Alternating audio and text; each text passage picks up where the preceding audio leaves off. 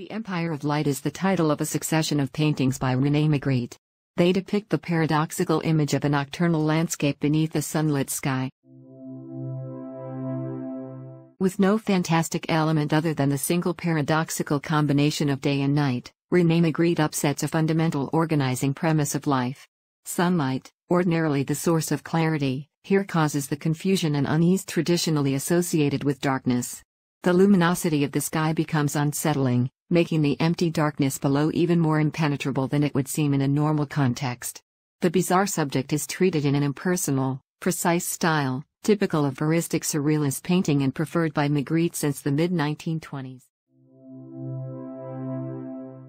This is the Imalent MS-18, the world's brightest flashlight that you can buy. And this is our flashlight. Got your standard rinky-dink over-the-counter flashlight. Let's see how it does. Eh, not, not great.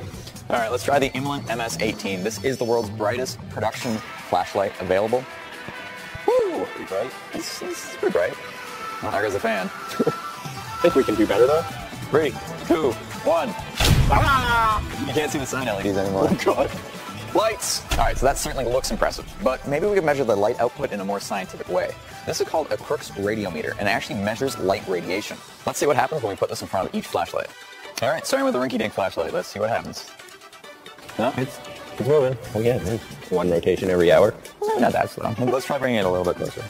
There we go. Solar powered right there. Slowly spinning. All right, let's, let's see what the Imalent 18 can do. All right, world's brightest flashlight. Let's see what happens. Woo. Ow. Oh, ah. Spinning. oh, man, it's been real fast. Let's try our flashlight. Can't, you can't see anything. All right, we've only got seven seconds before this baby overheats. Let's do it. One, two, three, four, five, six, seven. Woo! Look how fast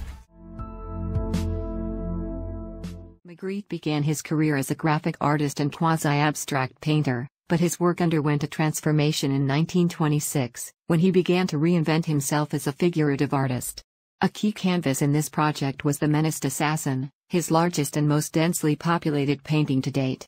Completed in 1927 and included in the artist's first solo exhibition, at the Galerie Tour in Brussels, it helped launch his career as a surrealist painter whose interest in severing the links between surface and essence would remain a constant.